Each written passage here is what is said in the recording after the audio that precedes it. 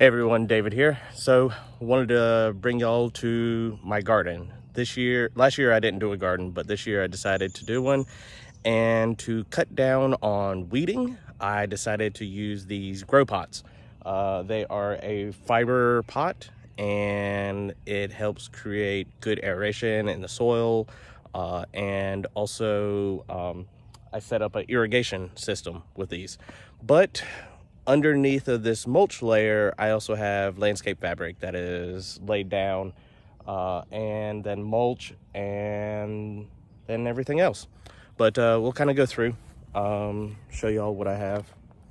Let's see, over here, uh, tomatoes, the entire row of tomatoes. I have all these cages set um, and these T-posts, which eventually I will what or string the cages to the T-post to give them a little bit more stability. Um, I wasn't quite sure exactly what to expect with uh, all these tomatoes, but most of them are the uh, San Marzano Roma tomatoes. And these are, these are plants or uh, these are plants from seeds that I started uh, back in probably about mm, probably about two months ago. Um, and they're doing they're doing pretty well.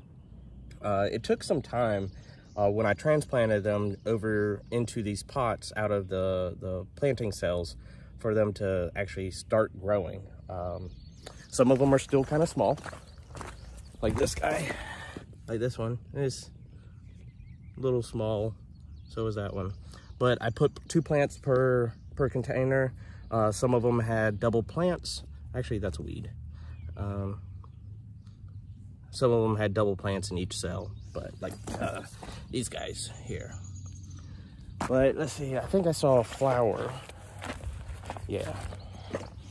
Um, this one's a little bit taller, uh, almost to the first ring, and got these uh, little flowers. Uh, San Marzano tomatoes are great for sauces and I do plan on canning and freezing a bunch of tomatoes um, for salsa and sauces because we eat a lot of like spaghetti.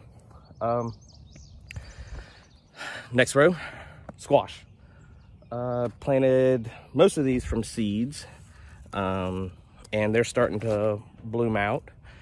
And let's see, we'll show y'all. Okay, so that, that flower just fell off but right there is a little, so this one's a crookneck squash.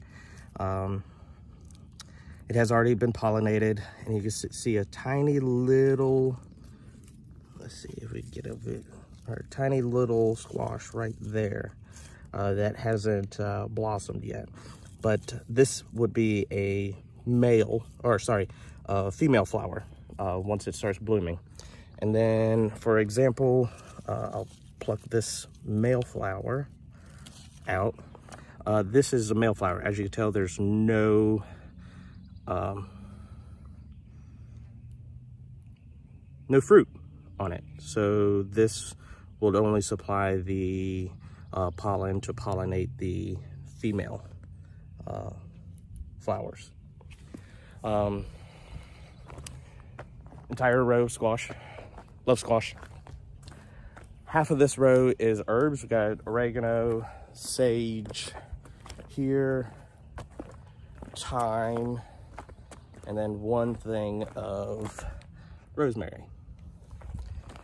And then uh, to finish out this row, my grandmother always planted these beans. They're called they're called greasy cut shorts. Uh, they are a climbing bean, and um, honestly, it's the best green bean that I've ever eaten. Uh, I love the fact that my grandmother used to grow these and I had uh, seeds in my freezer uh, about four years and decided uh, what the heck, I'll, I'll, plant some and sure enough, uh, they come up. I got T-posts that I need to set up and fencing to put up so they can, they're about to start climbing. As you see this little uh, uh, part right here. And we'll go back up here. Got four plants of pimento peppers and then more green beans. Uh, finish out this row, these are the blue bush lakes. Um, these are a bushing uh, type of green beans, so they don't need any trellising or anything like that. And then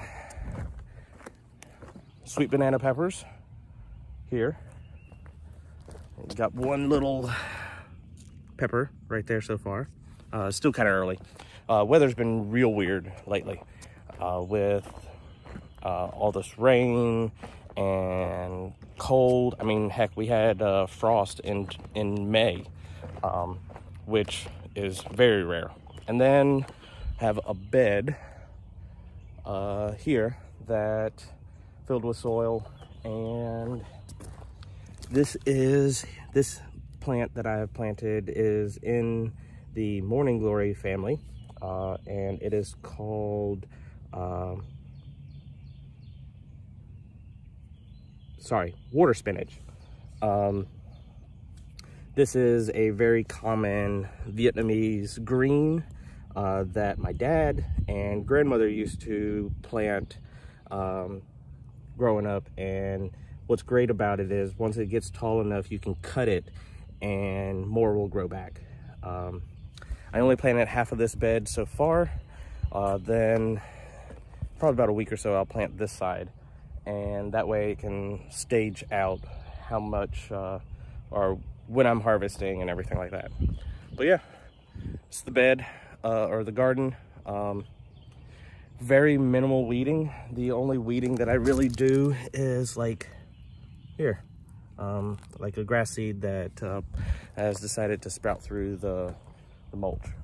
Um, irrigation set on a timer. I don't have to worry about that. Um, leftover dirt from filling these pots. Uh, that was a little time consuming. Took uh, filled up five gallon bucket, put these bags over top of it, dumped it out, and moved the pots. Um, but yeah, that's my garden. Um, I'm pretty pleased with it.